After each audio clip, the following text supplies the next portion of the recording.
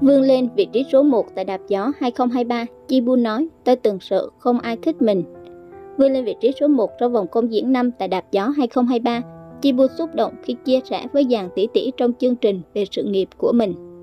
Sau màn đối đầu với Tạ Hân ở tiết mục The Queen, Chibu tiếp tục biểu diễn cùng Amber Alin trong ca khúc Lonely Dance.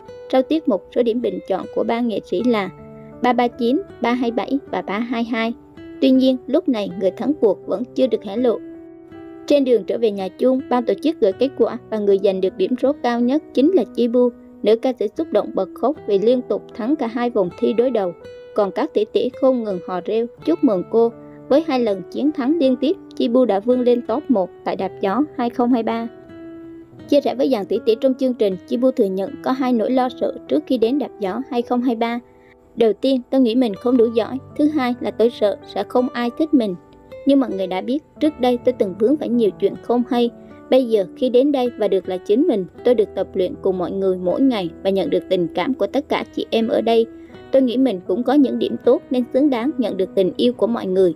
Ở tuổi 30, tôi cảm thấy tất cả mọi thứ với mình như một khởi đầu mới, mọi thứ thay đổi rất nhiều.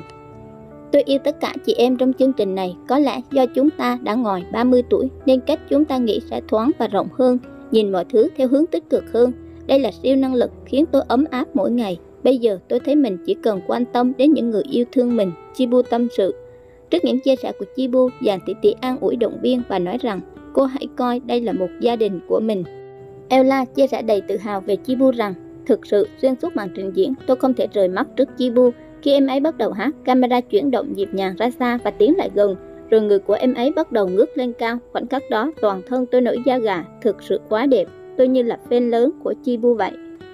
Ngay sau khi màn trình diễn thứ hai của Chibu tại vòng công diễn năm lên sóng từ khóa, Chibu có nhiều thắt lưng trên người, nhanh chóng leo lên vị trí 19 trên hot search bảng giải trí tại Trung Quốc.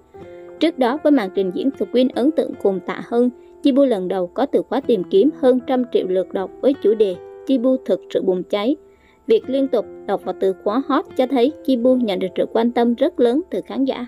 Không chỉ vậy, ở phần bình chọn Beloved Joy Voice trên Mango TV, Chibu cũng xếp hạng nhất chung cuộc sau 3 đợt bình chọn. Hiện cô đứng đầu với hơn 500.000 lượt voi, chứng minh sức hút tại đạp gió 2023.